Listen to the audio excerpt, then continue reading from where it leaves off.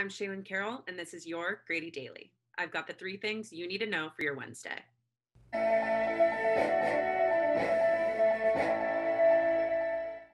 The state of Georgia will be giving $1,000 bonuses to police officers, firefighters, and other first responders, Governor Brian Kemp and Georgia House Speaker David Ralston announced Monday.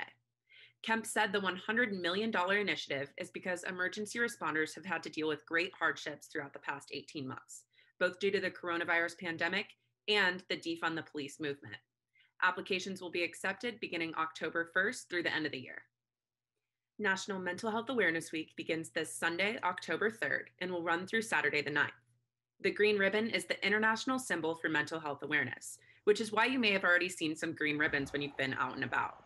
Madison County is encouraging businesses and residents to buy large green bows in support. ESPN's College GameDay will broadcast live from the University of Georgia this Saturday, ahead of the number two Bulldogs noon matchup against number eight Arkansas. Georgia head coach Kirby Smart emphasized how important fan support would be at a press conference this Monday. And we want to continue to encourage our fans and fan base. I know they'll turn out uh, and be loud and proud, but really with game day there, we want to get everybody to the stadium um, as early as we can, especially with the last hour those guys shared in there.